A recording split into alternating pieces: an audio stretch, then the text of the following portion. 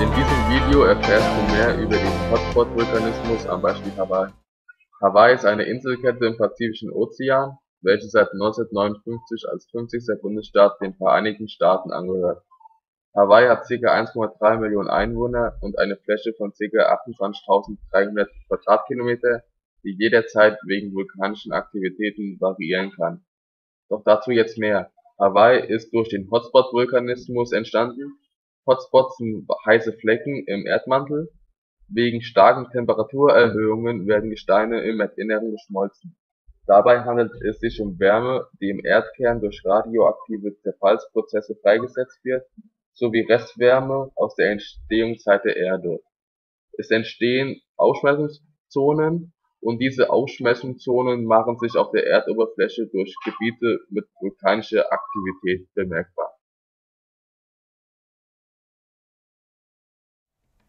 nun kommen wir zum Aufbau eines Hotspots-Vulkans.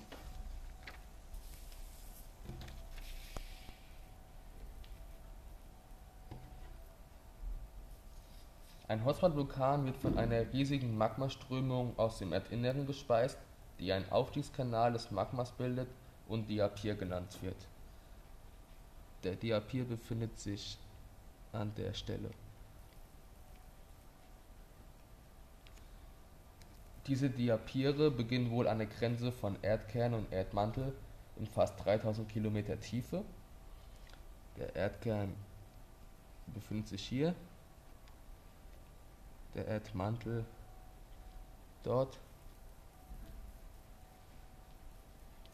Ja, und in circa 3000 Kilometer Tiefe.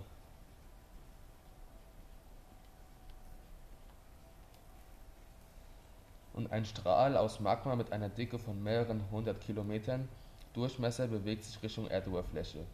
Hierbei bildet er zunächst einen Diapir-Schlauch, der sich hier befindet und in der Nähe der Lithosphäre, also die Lithosphäre ist eine feste Gesteinshülle, die die Erdkruste und den äußersten Teil des Erdmantels umfasst, einen Diapirkopf und durchbricht schließlich auch die Erdkruste der Diapirkopf befindet sich dort und dann die Erdkruste. Ja, und dann entsteht somit ein Hotspot-Vulkan, der sich am Ozeanboden aufbaut und zum Teil bis über den Meeresspiegel sich aufragt. Ja, und dann hier der Hotspot-Vulkan.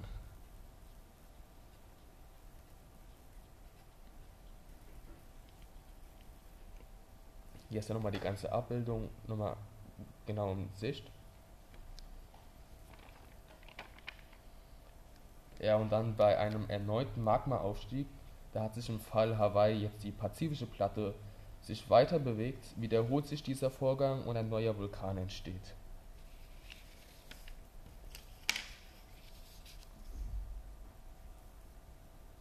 Ja, und ältere, ältere Vulkane verlieren irgendwann ihre Verbindung zur Magmaquelle des Hotspots, das heißt der Magmakanal oder auch Nabelschnur genannt, zum Vulkan reißt ab.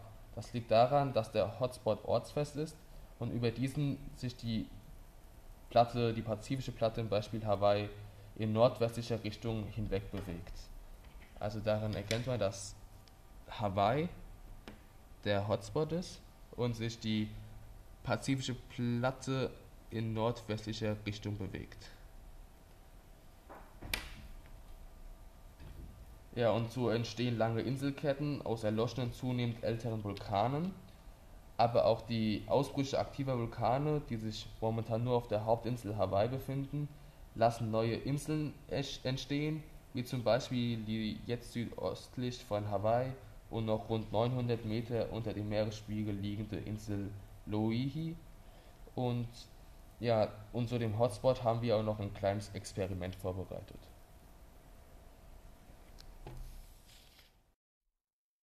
Die Kerze symbolisiert den Diapir. Diese Diapire wurzeln tief im Erdmantel, so dass ihre Position als fest angenommen wird.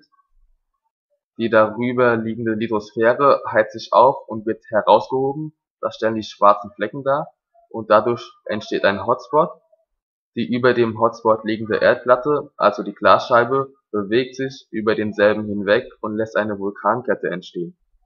Daraus kann man nochmal erschließen, dass sich nicht der Hotspot oder der Diapir bewegt, sondern sich nur die Erdplatte darüber bewegt